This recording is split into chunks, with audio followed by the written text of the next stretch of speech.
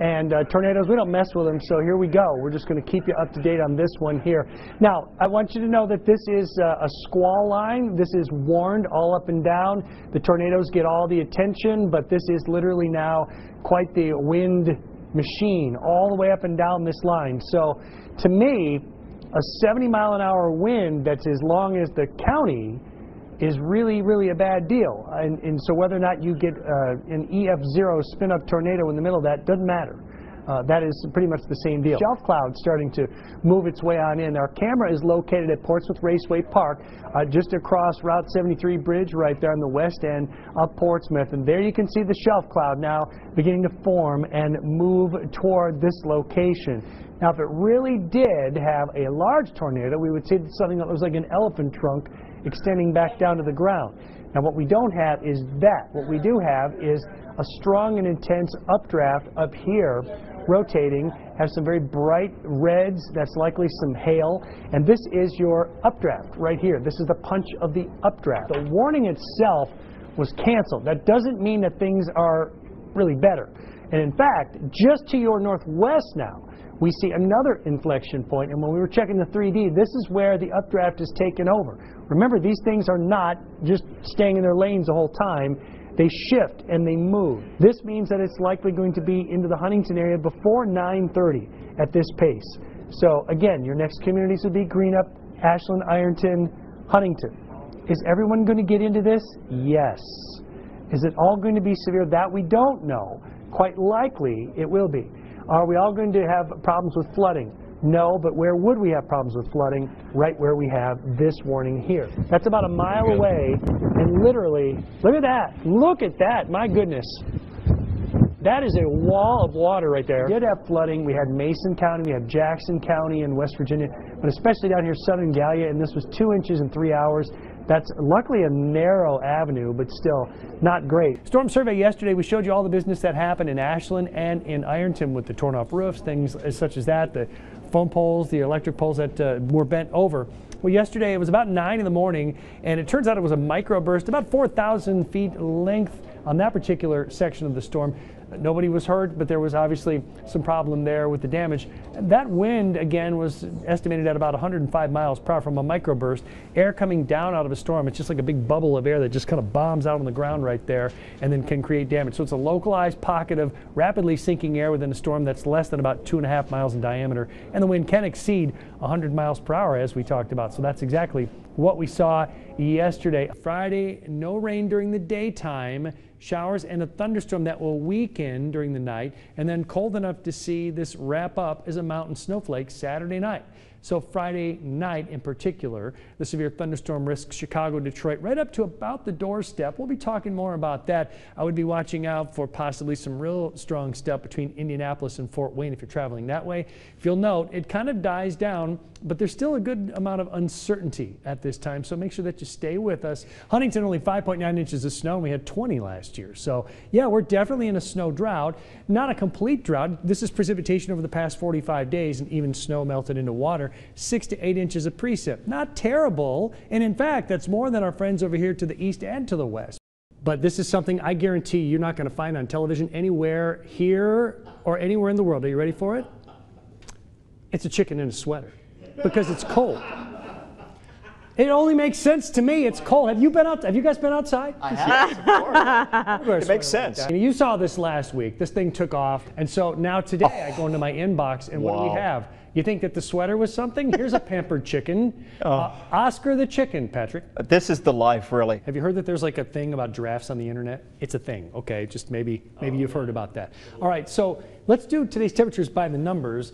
So this is normal highs, and this is today's high right there. Does this start to make a little more sense? So the normal high is 59, but today we only reached 50 degrees. You got to be careful where you're standing at the train station when it snows. Otherwise, this will happen to you. I mean, wow, man. Can I do it? I don't know. Let's see. Let's try.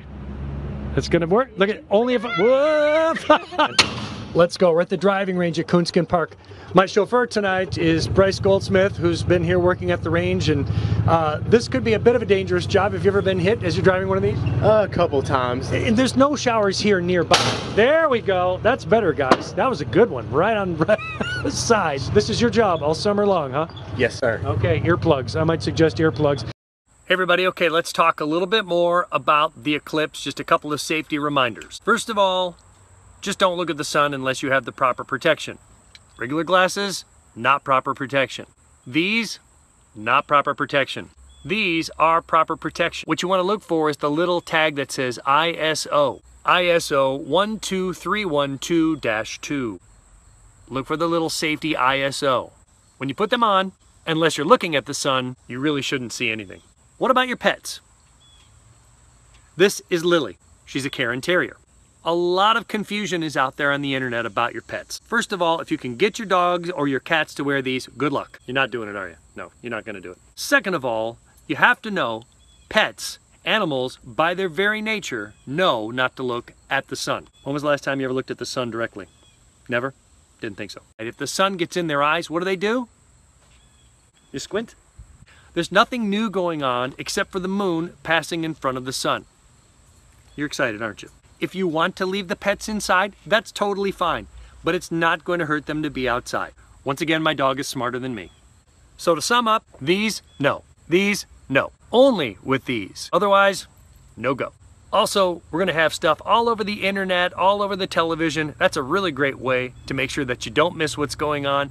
Check out also all the NASA websites. So if you don't get a great picture, just take it from there, save it off the computer. You can even print it out for later use or just put it on your Facebook page. These also work great for naps. We're just talking about weather models. You don't want to get me going on that.